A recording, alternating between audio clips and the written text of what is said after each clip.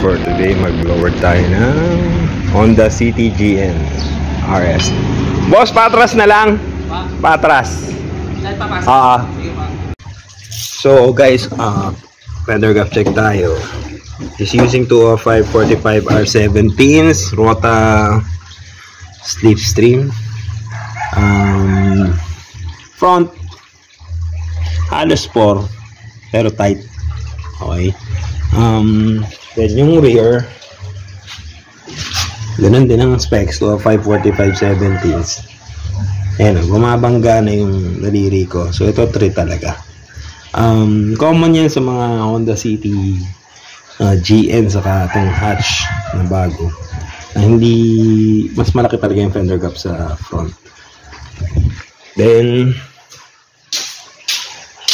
sa rear, o dito 4. Diba? Alas 4. Tingin ko, inclination na lang ng parking. Kaya ganun. O dito, 4 din. So, 4, 4, 3 saka 3.5 yung kabila. So, roughly 3 point, kung level siguro yung pagkakapark ni boss nasa 3.5 uh, lahat.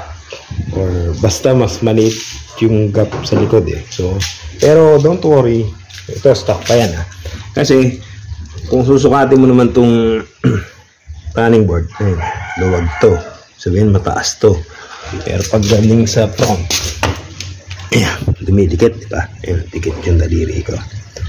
Ayan. Since beef, ito, stock pa lang, mas malaki na yung gap sa harap. Expected natin na pag na-lower dyan, mas malaki pa rin yung gap sa harap kasi springs lang naman yung pinalitan natin.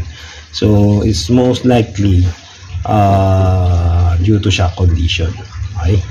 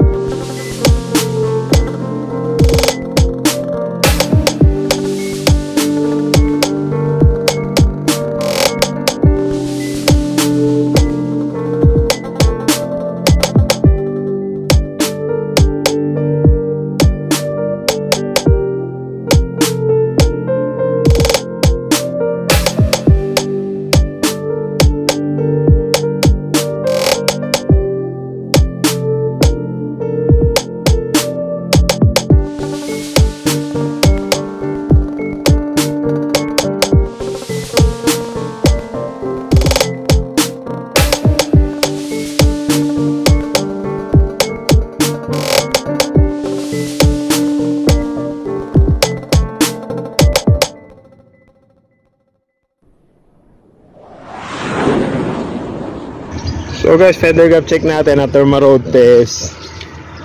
Kanina, parang 3.5 or almost 4 yung harap. Ngayon, sikip na yung dos. Oh. Sikip yung dos, tumatagilid na. Para sa akin, 1.5 yung front. Yan oh. 1.5. Then yung rear, sikip din yung dos. 1, 1.5.